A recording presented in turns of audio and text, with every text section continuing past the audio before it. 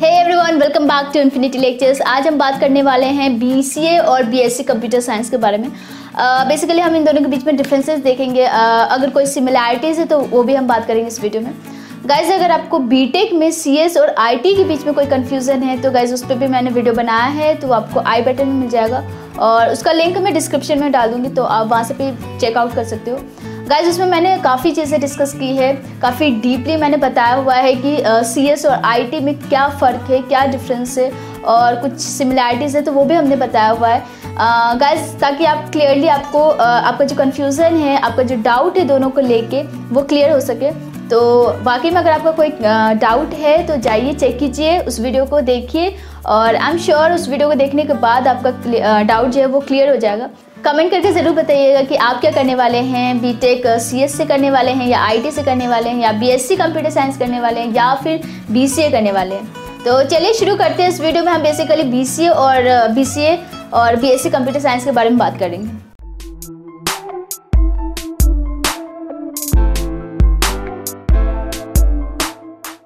BSc Bachelor of Science from Computer Science and uh, BCA bachelor of computer application both are three year undergraduate course दोनों ही तीन साल के course है।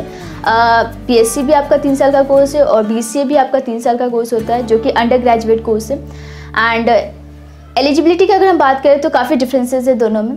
सबसे पहले हम बात करेंगे बीएससी अगर आप बीएससी करना चाहते हो कंप्यूटर साइंस से तो आपके ट्वेल्थ में साइंस स्ट्रीम होना ज़रूरी है। तभी आप बीएससी कर सकते हैं।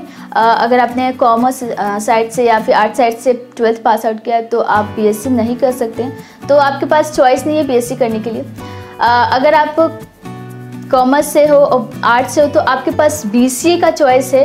आप बी कर सकते हो। लेकिन इसमें भी एक कंडीशन है कि आपको सारी यूनिवर्सिटीज़ प्रोवाइड नहीं करती ये कोर्स BCA कुछ यूनिवर्सिटीज़ ऐसी हैं जहाँ पे you know maths as a main subject मांगा जाता है। तो अगर आपके मैथ सब्जेक्ट है आपके ट्वेल्थ में तो आप इसे कर सकते हो। बट कुछ यूनिवर्सिटीज़ ऐसी भी है जहाँ पे आप अगर सिंपली आर्ट साइड से हो या कॉमर्स साइड से हो तो आप बी कर सकते हो। तो नॉर्मली अगर देखा जाए तो अगर आपने कॉमर्स साइड या आर्ट साइड से किया तो आप बी ही कर सकते हैं, आप बीएससी नहीं कर सकते। ठीक है?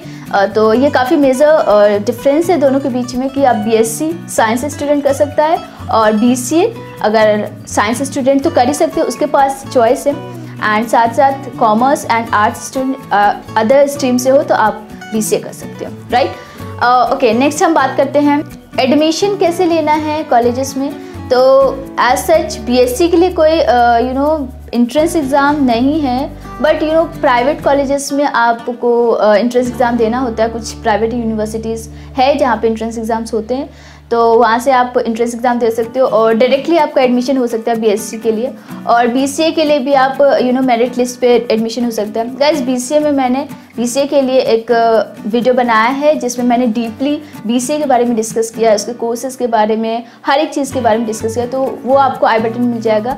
तो आप अगर बीसीए के बारे में ज़्यादा डीपली नॉलेज जानना चाहते हैं तो आप विज़िट कर सकते हो उस वीडियो को। बेसिकली बीएससी वो लोग करते हैं जो लोग टीचर बनना चाहते हैं या टीचिंग में जिसका इंटरेस्ट होता है या फिर प्रोफेसर बनना चाहते हैं या फर्दर कोई रिसर्च करना चाहते हैं तो वो लोग बीएससी करते हैं।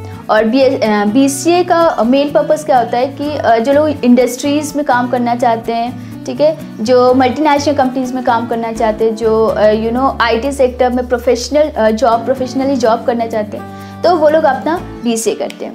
गाइज़ अगर हम कोर्सेज की बात करें तो मेजर डिफरेंसेस है बीएससी कंप्यूटर साइंस और बीसीए से ओवरऑल देखा जाए तो बीएससी में आपका conceptual part and theoretical knowledge जो होता है वो ज़्यादा होता है. एंड बी सी ए में क्या होता है कि आपको यू नो इंडस्ट्रीज़ से चीज़ें रिलेटेड पढ़ाई जाती है एंड जो भी पढ़ाया जा रहा है उसका एप्लीकेशन ज़्यादातर बी सी में दिया जाता है, यानी कि एप्लीकेशन के बारे में आप पढ़ते हो कि कहाँ कहाँ कैसे उसको यूज़ करना है, कैसे डेवलप करना है क्रिएट करना है, ये सारी चीज़ें आपको बी सी में मिल जाता है। स्कोप क्या है? Uh, सबसे पहले तो हम बात करेंगे कि बीएससी करने के बाद आप क्या क्या कर सकते हो। बीएससी करने के बाद आप एमएससी कर सकते हो आप एमबीए कर सकते हो या आप एमसीए कर सकते हो। काफ़ी चीज़ें सिमिलर है जो आप बीएससी करने के बाद भी कर सकते हो और आप बीसीए करने के बाद भी कर सकते हो। इसके अलावा आप अगर फर्दर स्टडी के बाद आप चाहो तो आप पीएचडी कर सकते हो रिसर्च में जा सकते हो आगे ठीक है? आप टीचिंग के लिए एप्लीकेबल हो सकते हो। अगर आप बीएससी के बाद एमएससी करते हो तो आप मास्टर्स हो जाते हो उस पर्टिकुलर फ़ील्ड में एंड आप किसी भी कॉलेज या स्कूल्स में पढ़ा सकते हो, ठीक है? एंड दूसरी तरफ़ बी करने के बाद अगर आप आईटी सेक्टर में और आगे करियर बढ़ाना चाहते हैं या फिर आप चाहते हो कि आपकी सैलरी पैकेज और ज़्यादा हो तो आप बी करने के बाद एमसीए कर सकते हैं, या फिर आप एमबीए कर सकते हो। Guys B S computer science और बी दोनों बिल्कुल अलग कोर्स है, दोनों का कोर्स अलग है, दोनों का जो जॉब प्रोस्पेक्ट्स है, वो अलग है स्कोप्स अलग है। गैस ये दोनों कोर्स बिल्कुल अलग है एंड ये सारी इन्फॉर्मेशन थी बीसी और बीएससी कंप्यूटर साइंस को लेके। आपको कोई अभी डाउट है तो आप मुझसे कमेंट करके ज़रूर पूछ सकते हैं और आप क्या करने वाले हैं बीएससी कंप्यूटर साइंस करने वाले हैं या फिर बी करने वाले हैं कमेंट करके ज़रूर बताइए। और इस चैनल को अगर अभी तक सब्सक्राइब नहीं किया तो सब्सक्राइब कर सकते हैं आप इस चैनल को, क्योंकि इस पर एजुकेशनल इन्फॉर्मेशन आती रहती हैं, चाहे वो करियर से रिलेटेड हो, चाहे वो स्टडीज़ से रिलेटेड हो, चाहे वो एजुकेशन से रिलेटेड हो, ठीक है? एंड आप उस बेल आइकन को ज़रूर क्लिक कीजिए, ताकि आपको नोटिफिकेशंस मिलती रहे जब भी मेरे वीडियोस अपलोड हो। और आप इस वीडियो को शेयर कर सकते हैं लाइक कर सकते हैं। Thank you